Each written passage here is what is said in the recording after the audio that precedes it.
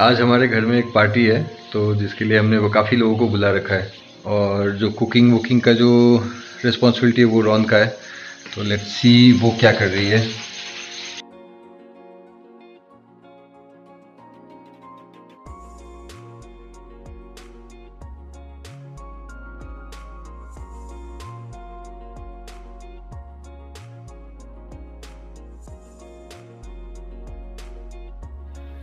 तो ये दाल है। तीन टाइप के दाल मैंने भिगाया हुआ है। तो मिक्स दाल बनाऊँगी आज। देखते हैं कैसे बनता है। ये तूर दाल है एंड मसूर और मूंग दाल। तीनों को भिगा के रखा हुआ है। ये बॉइल्ड पोटैटोस हैं। मैं स्माइलीज बनाऊँगी। लेट्स सी घर का ही बना हुआ, पहली बार ट्राई कर रही हूँ। एंड वेजिस का कटिंग चॉपिंग होगा। अभी बैठ के करूँगी आराम से।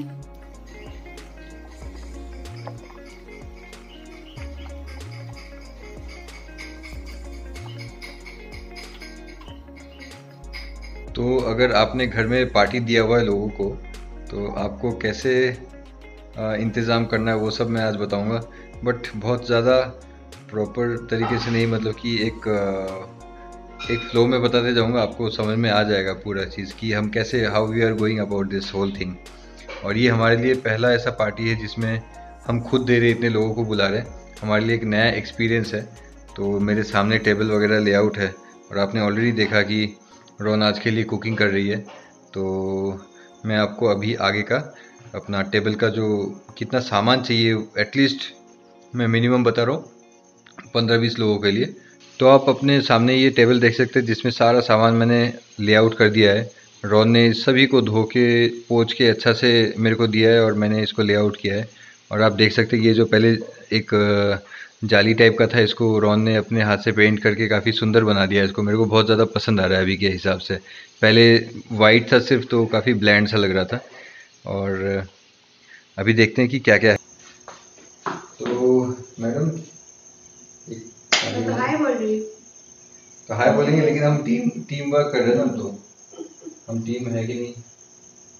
तो आज हम आपको बताने वाले कि ये लेआउट में हमने क्या क्या सामान इस्तेमाल कर रहे हैं हम लोग इस पार्टी के लिए। और ये सब एक साथ हम इसलिए दिखा रहे हैं क्योंकि इसके बाद सब कुछ इस्तेमाल हो जाएगा। चम्मच से लेके प्लेट से लेके, ये बर्तन वगैरह। और एक्चुअली ये हमारा फ़र्स्ट टाइम है ना? इतने लोगों को पार्टी जो दे दे रहे ये फ़र्स्ट टाइम है। पहली बार। थोड़ा बहुत नर्वस भी हूँ मैं मगर इतने लोगों को पार्टी पहली बार दे रहे हैं। ये आई थिंक अराउंड 16 17 भी था एक दो तीन चार सोलह। सिक्सटीन सोलह और छः और मैंने अलग से रखा हुआ है बच्चे लोगों के लिए। तो तो बताओ क्या है सामान? सबसे पहले? सबसे पहले क्या यूज़ होगा? सबसे पहले यूज़ होगा पानी का गिलास सबसे पहले जब गेस्ट आएँगे तो हम ये पानी का गिलास यूज़ कर रहे हैं और फिर हम पूछेंगे जूस जूस का भी ऑप्शन रखा हुआ है कि ड्रिंक्स में क्या क्या लेना चाहेंगे। तो कोई कोई बोलते कॉफ़ी पियेंगे। तो कॉफ़ी का इंतज़ाम पहले से ही कॉफ़ी बीट करके पहले से ही रखा हुआ है। कॉफ़ी बीट करके रखा हुआ है। किसी को लेमन जूस पीना होगा तो नींबू पानी है। नींबू पानी के लिए ग्लास ये वाला है लंबा वाला जो जूस वगैरह के लिए। और किसी को अगर चाय वगैरह पीना है वाइन वगैरह तो ये वाइन ग्लास के लिए भी यूज़ कर सकते हैं। अच्छा। मैं ज़्यादा खरीदा नहीं चाहती ऑलरेडी कलेक्शन बहुत ज़्यादा हो गया है हमारा। अभी खाली रहेगा तो ये हम्म। एक साथ दिखा सकता है ना बाद में जब टेबल सेट हो जाएगा तो फिर यहाँ पे कम ही सामान होगा। कुछ नहीं होगा ये ग्लास वगैरह तो फिर यूज़ भी चला जाएगा ये। और आप देख सकते हैं कि बहुत सारा सामान है इसलिए क्योंकि हमने तकरीबन कितने को बुलाया? लगभग सत्रह अठारह। सत्रह अठारह और इसलिए इतने लोगों को बुलाया एक जो कपल हमारे सीनियर है वो यहाँ से पोस्टिंग आउट जा रहे हैं आउट जा रहे हैं तो उनका ऑनर में हमने रखा ये पार्टी सबको इकट्ठा बुला बुला लिया उनके साथ ही। ताकि सब कुछ अच्छा ताकि एक अच्छा हाँ, हमारा उनके साथ अच्छा बॉन्डिंग था। हमारा अच्छा बॉन्डिंग था तो बाकियों का भी होगा। ट्रे इसलिए है ताकि एक साथ ही हम पानी दिखा सके या सॉफ्ट ड्रिंक दिखा सके एक साथ ही। इसके अलावा कुछ बियर भी रखा है हमने जिसके लिए बियर ग्लासेस है और कुछ हार्ड ड्रिंक्स के लिए भी वहाँ पे ग्लासेस है। ओके ये जो बड़ा वाला बाउल है आपको दिख रहा है ये दाल और सब्ज़ी वगैरह डालने के लिए और चिकन के लिए भी हम दाल तो, के लिए तो हम ये भी यूज़ कर सकते हैं यहाँ पे हमने अलग से रखा हुआ है इसके अलग अलग अलग कलर का काफ़ी सुंदर लगता है मेरे को ये रोन ने अपने हिसाब से चूज़ किया जो कि मेरे को भी पसंद है। और ये वाले जो है इसमें हम एक्स्ट्रा अगर चाहिए मान लो यहाँ पे नहीं है तो वहाँ पे तैयार करके रखेंगे।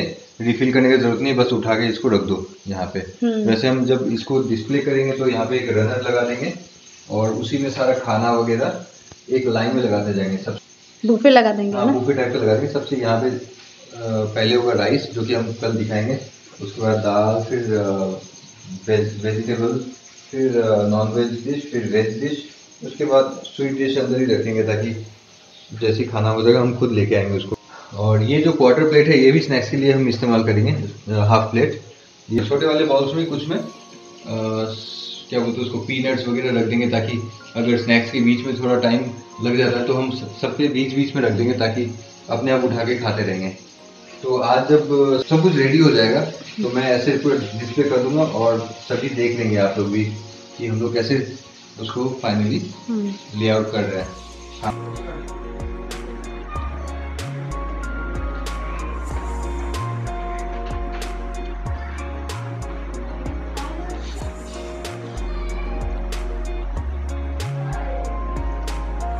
इसमें क्या है? राइस है पनीर डाल दिया चिकन डाल दिया।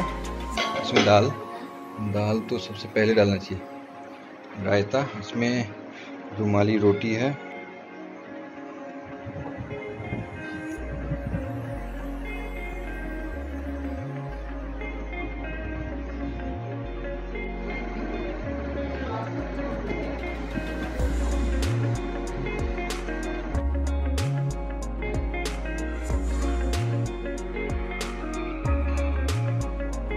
छोटे बच्चे।